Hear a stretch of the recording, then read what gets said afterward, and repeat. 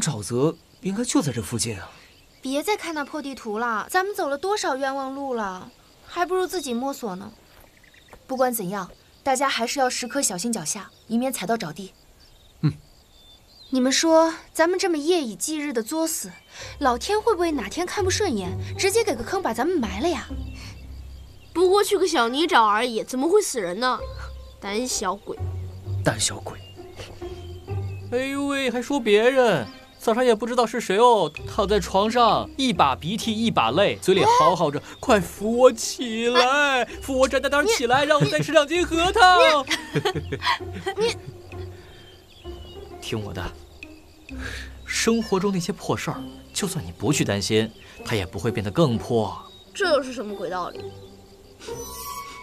哎，你们有没有闻到一股臭味啊？确实有点。哎，好像是有臭味啊。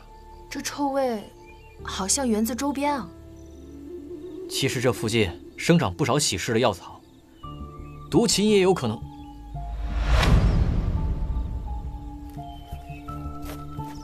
我真是一说一个准儿啊！这就是毒芹啊！果然与常见的水禽长得很像啊。可是这里就是地图的位置，哪有什么沼泽啊？或许此处只是以沼泽为名，实际上并无什么沼泽。嗯。嗯？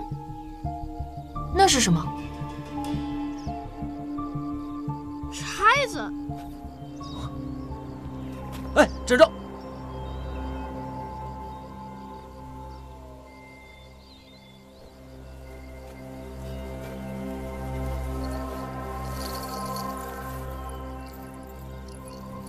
何会有一只钗子呀？它为什么会落在毒琴附近？哎，蝎子，蝎子，这、这、这、这里怎么会有一只蝎子啊？哎呀，一只蝎子大惊小怪的。倒是这个钗子呀，这像是司徒莫心的发钗，前两日我曾见他戴过。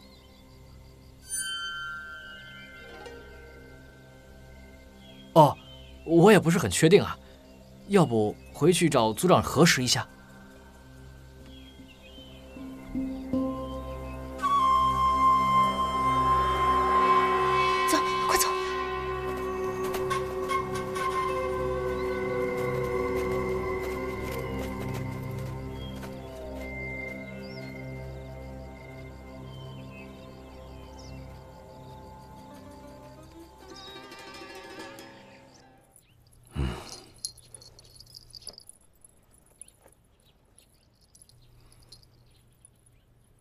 这发钗确是莫心之物，不知二位公子去幽灵沼泽究竟想做什么？我们怀疑毒芹一事并非偶然。既然破林阵中从未出现过毒芹，我认为毒芹可能生长在偏僻的湿地或水沟旁，也就是幽灵沼泽，所以前去查证，却不料。发现了莫心姑娘的发钗。即便如此，毒芹害人一事，定非莫心所为。再者说，无论是谁下的毒，都是你们自己找上门来的。你们休想以此为由，倒打一耙。族长，且听在下一言：如果施用毒琴之人不是莫心姑娘的话，那族长您的处境就更危险了，因为下毒者的目的不一定是我们。这话是什么意思？有没有可能是下毒之人杀心错腹，借我们以掩人耳目？毕竟只有族长您才最爱吃芹菜。是啊。我们被栽赃陷害倒是没什么，大不了一走了之。就是。怕就怕这下毒之人一次未得手还会再来一次。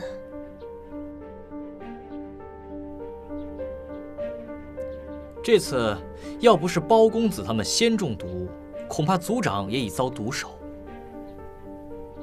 对啊现在还不知道毒性是针对谁我们早些查清楚你们也好安心嘛。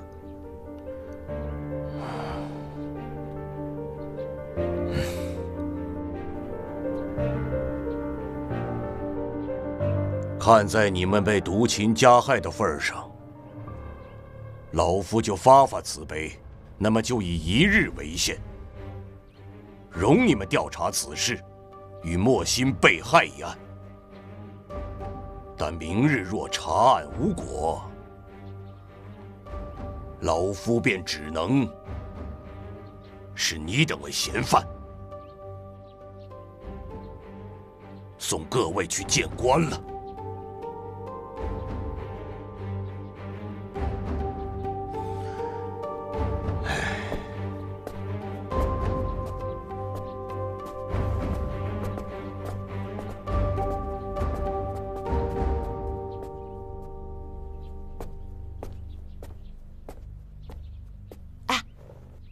不觉得有些奇怪吗？司徒组长先前笃信妖灵，现在却肯让我们查找真凶，大概是吓坏了吧？哎，南姐姐在想什么呢？我在想，会不会是司徒多罗想把包拯留下来，才故意下毒？嗯，多罗姑娘心性纯良，不像是歹毒之人，你怎么能有这种想法呢？嗯，傅毅。指着你们男人的眼神，妖精都是纯良的。哼，你吃了百年老陈醋，可真够呛的哈。毒禽最毒在根茎，下毒之人显然十分注意用量，放的几乎都是植株接近顶梢那一节。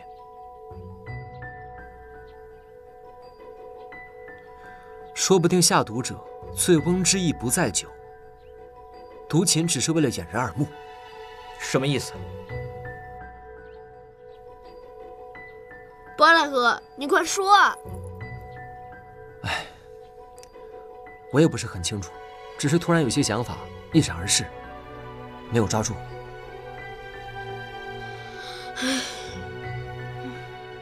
那现在我们该从何处查起啊？司徒莫心被杀的背后，一定藏有很大的隐情。不如我们先从他的房间查起。待将尸体安置妥当后，再仔细验尸。好，走吧。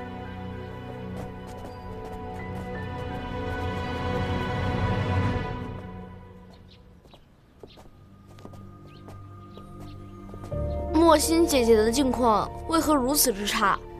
先前我听多罗姑娘提起过，一年前啊，莫心姑娘被收养的时候，司徒夫人十分不愿意，但莫心姑娘苦苦哀求。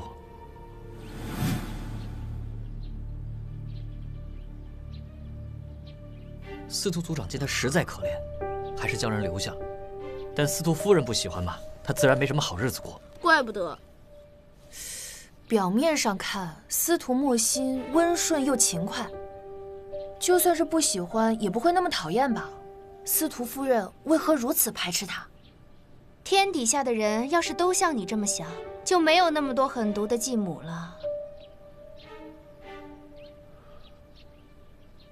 司徒莫心的境况如此凄凉，那他房间里怎么会有这么好的纸笔？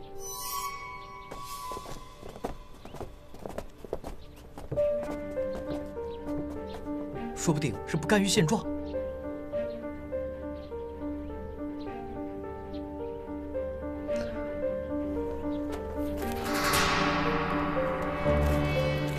看上去好像是要给谁写信，不过司徒莫心不是没有亲人了吗？谁说一定是写给亲人啊？万一是写给情郎呢？哼！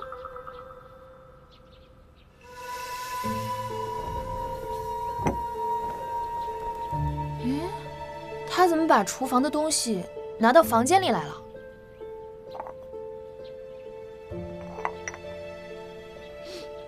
这蒜臼竟然有香味儿！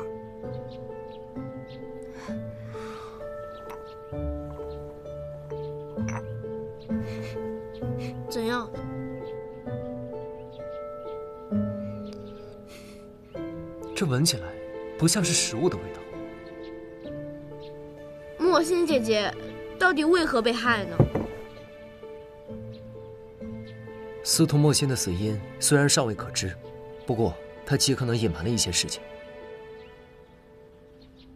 他隐瞒何事？他手上的那道伤口。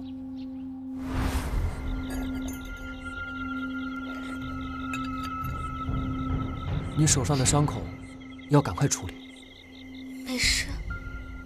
花土中有肥料，若不及时清洗包扎，可能会化脓。多谢公子提醒，莫心记住了。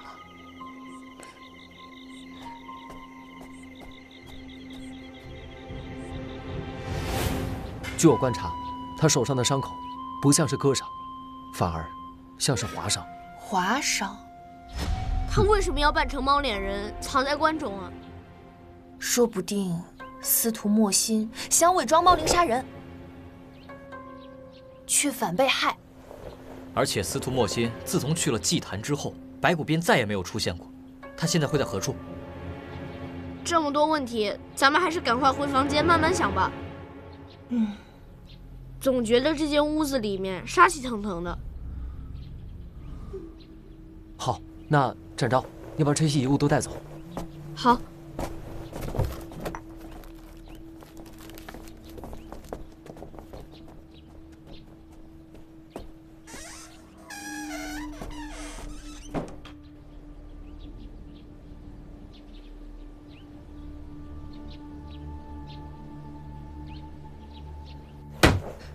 我觉得有人要杀包拯。嗯，包君一而再、再而三的成为目标。看上去的确不像偶然，可不是嘛？毒蝎、毒箭，还有那毒琴，说不准都是奔着包大哥去的，是不是有人寻仇啊？就算我得罪过人，那也应该是在泸州啊，在这会有谁想对我动手？我知道了，一定是那个破红魔，他听说过阿整的名声，在这里装神弄鬼，又怕阿整识破，所以才杀人灭口。嗯。即便如此，破红魔也不会反应这么快吧？一照面就认出来，并且立刻动手。你们想想血魂林，再想想沈寒，说不定我们刚打听到空寂岭消息的时候，就已经被人给盯上了。那合着天底下聪明人都得和我较劲啊？再说了，我们来这里是为了寻找阿软的身世，难道你是怀疑是阿软故意引我们来破灵阵的？你们是为了寻找白姑娘的生身父母而来，此后便接连遇险。若猫灵一事为无稽之谈，那现在发生的一切很可能与当年的空寂灵有关。说不定查出此事真相，便能解开白姑娘的身世。若能查出杀害司徒莫心的凶手，无论找不找得到我的父母，都不虚此行了。理是这个理。但听你们这么一说，我怎么觉得阿软姐姐很可疑？哎，那照你这么觉得，咱们一路上询问破灵镇的方向、消息，是南天竺打听到的。你是不是觉得南天竺也是同花？阿软，他们这么编排咱俩，你就这么听着？要不然呢？全都吊起，打一顿。啊，好主意！你给我站住！阿软，快把小警官拉走！站住！啊！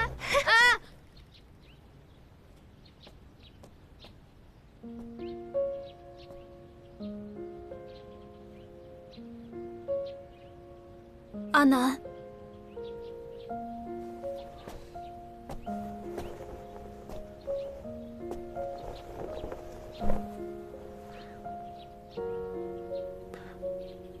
莫心终于回家了，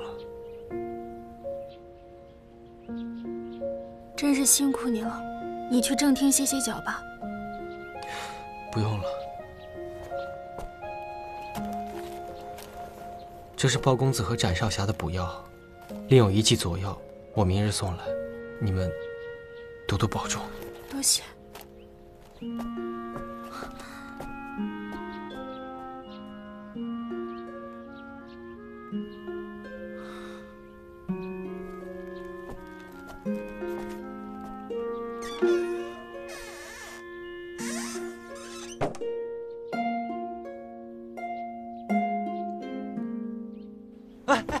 本姑娘可不是好躲的，求求你了，看你往哪跑别追了！别追了！你还躲是不是？跑不动了等我逮着你的！长长，快来帮我！你先站住，我就不追了。别追了！哎，南妹妹快追！哎，哎铜铃掉了。别追了！有本事你就别跑啊！我没本事！哎，哎，包大哥，阿正，阿正，你没事吧？伤到哪儿了？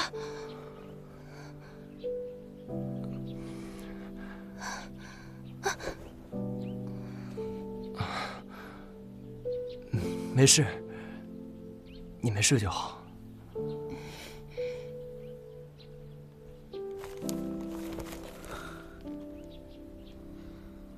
多罗姐姐，呃多罗妹妹，你你怎么来了？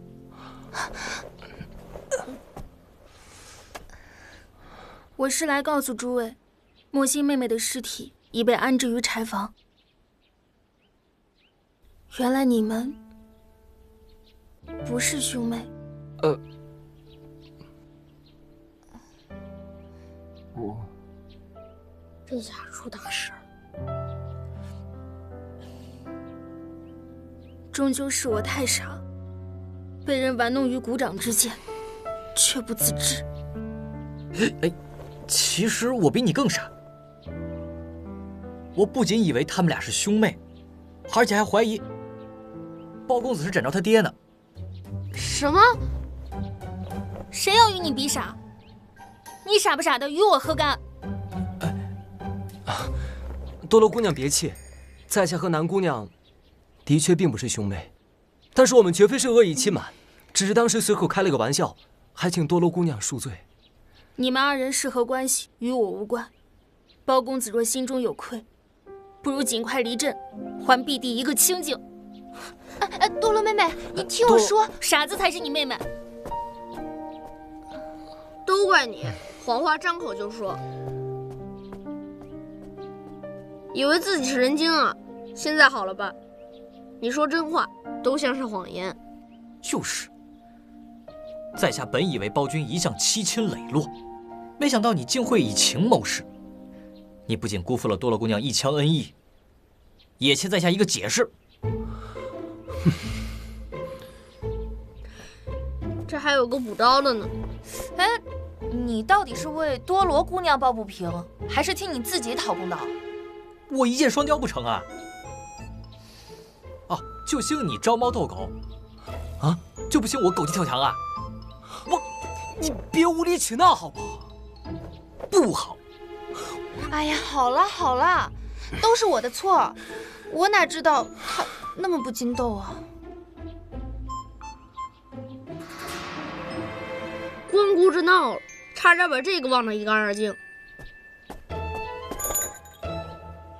包大哥，这都被你给踩碎了。哎，这铜铃里好像藏了什么东西。啊的确有异物。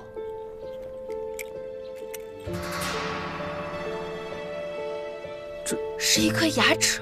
牙齿？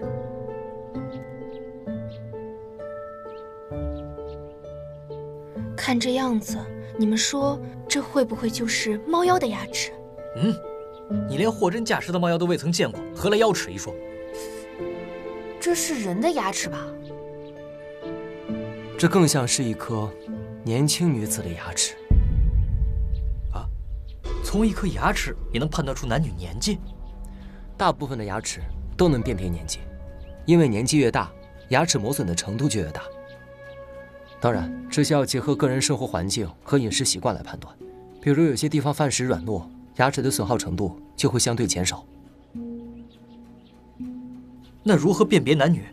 也并非所有牙齿都能准确判断出来男女。我曾听一位仵作师傅说，男人的虎牙通常比女人的略宽，而这一颗恰好就是火。不过这种差别极为细微，也不是回回都准，观之只能略作猜测罢了。原来如此。可是这铜铃中，怎会有年轻女子的牙齿啊？我听说民间某些地方有习俗，有一些人会把换下的牙齿收藏起来。你十七八来换牙？我就是随口那么一说，你怎么这么喜欢抬杠？十七八不换牙，这这会不会是死人的牙齿？这要是活人的，那就更可怕了。为什么？你想想，这样好好的牙齿，要是活生生的给它拔下来，哎，包大哥，你先别说了。你和南天竺还真是天生一对儿，一个正儿八经的吓唬人，一个傻了吧唧的忽悠人。哎，你才傻呢！我们聪明人就喜欢装傻充愣。像你这种真傻的，才爱自作聪明。哎，你去哪儿？去找你家多罗赔礼道歉啊！我自己刨的坑，可不得自己埋吗？走了。我警告你们，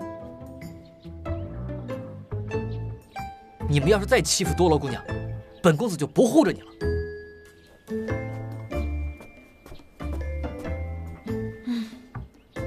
这前庭的案子尚未查清，你这后院的火就一波接一波的。唉，看来太招人待见也未必是件好事。哎呀，别说这些了，眼下查案为重，走一步看一步吧。我们先去看看司徒莫心的尸体。走。嗯。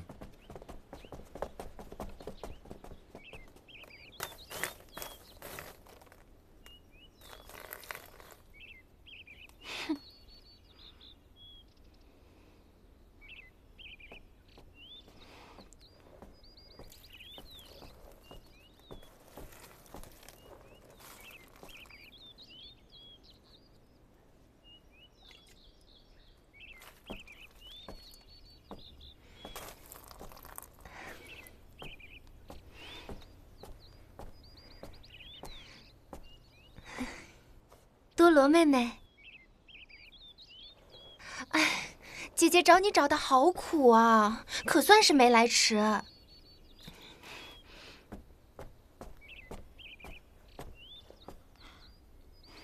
你找我做什么？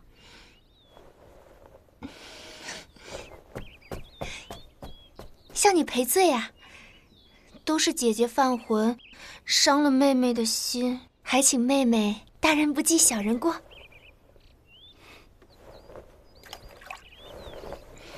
那你和包大哥究竟是何关系？啊往浅了说，我们只是朋友而已；往深了说，亦是生死之交。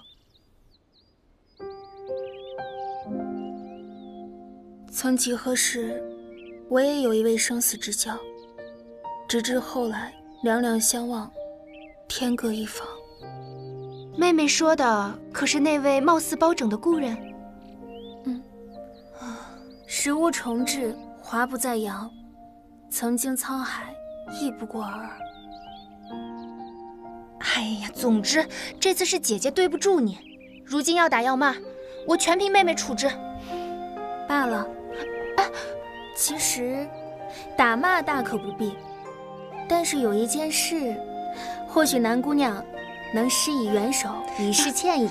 何事啊？自从莫心妹妹去了以后，家中顿时无人生火做饭，坡陵镇地僻人稀，一时庖丁难顾。嗯，既然你等在我家暂居，不知这一日三餐全由南姑娘代劳，如何？我，这这，你确定不想打我一顿？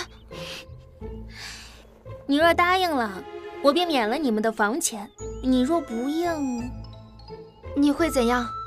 那我就实话实说，来让家父做主。你，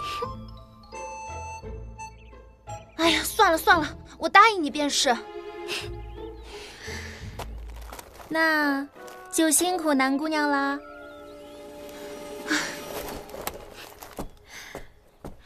其实，你等之去留，不在家父的一念之间，而是在于包公子的用案之中。什么意思？这案子若是包公子用得好，他便是你们的护身符；若用不好，那他可能就是催命符。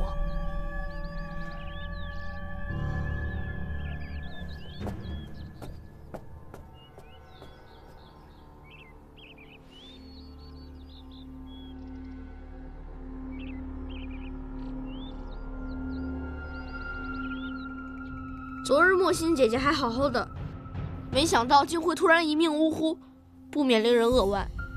先别急着扼腕，说不定想让我们一命呜呼的人就是他呢。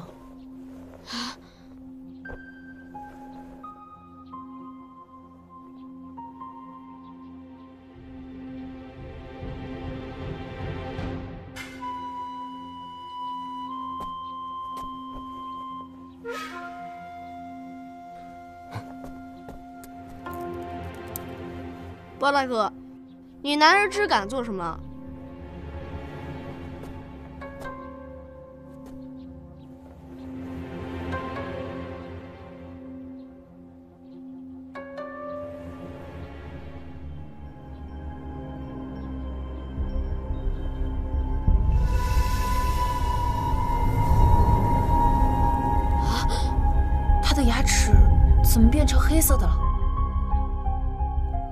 那具头骨上的黑石极为相似，莫心姐姐的死会不会和那具白骨有关啊？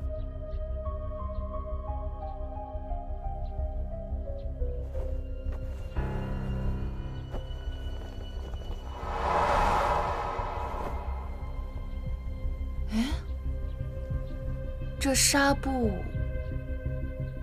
似乎不太对劲。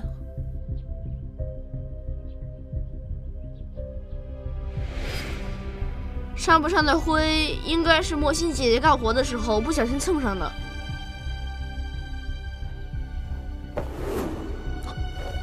她的手指甲竟然也是黑的！哎，包大哥，这手的指甲也是黑色的。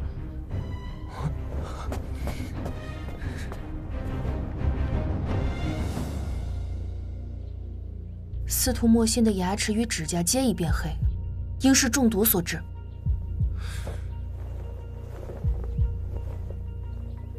如此看来，莫心姐姐和那具白骨主人，他们生前中的可能都是同一种毒。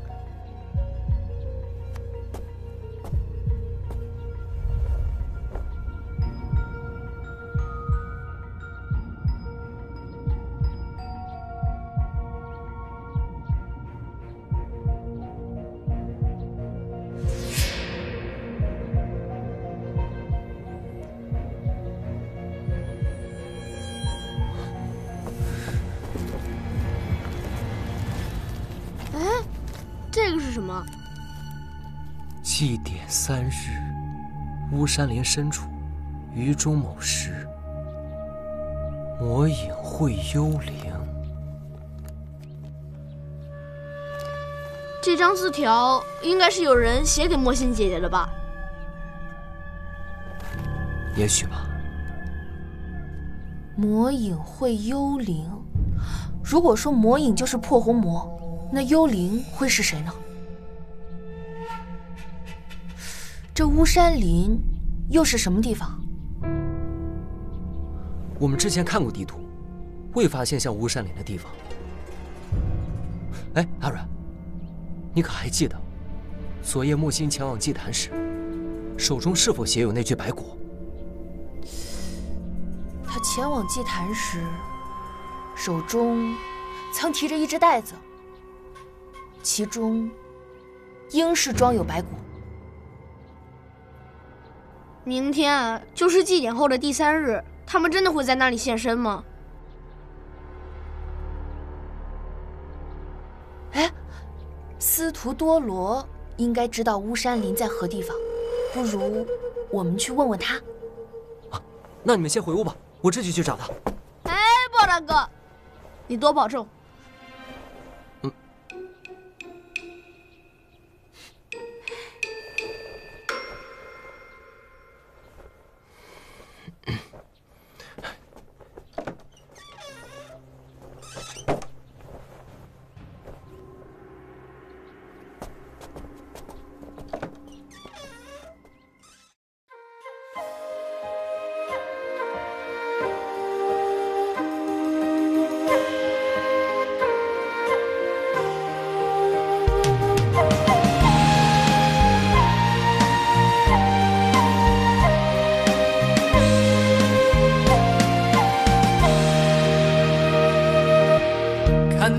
天在上，大道苍茫。